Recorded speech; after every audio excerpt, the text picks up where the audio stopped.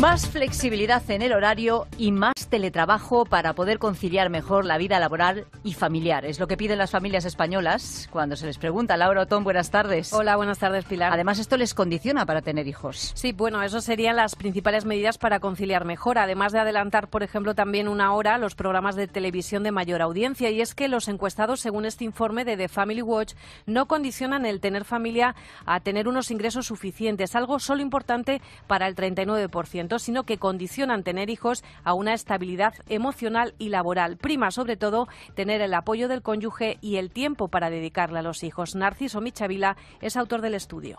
Seguimos teniendo un sistema de horario laboral que es eh, incompatible con un mundo actual donde eh, todos queremos estar eh, pudiendo tener conciliar nuestra vida personal y familiar y además todos queremos tener trabajo. Este barómetro también revela datos sobre lo que queremos para nuestros hijos. El 75,9% sigue apostando por la formación universitaria para enfocar su futuro profesional y están convencidos el 77% que el ocio nocturno sin alcohol es posible. Más del 90% ve ventajas en el uso de Internet y redes sociales, a la vez que creen que deberían ser menos permisivos y controlar más el contenido y el uso del móvil.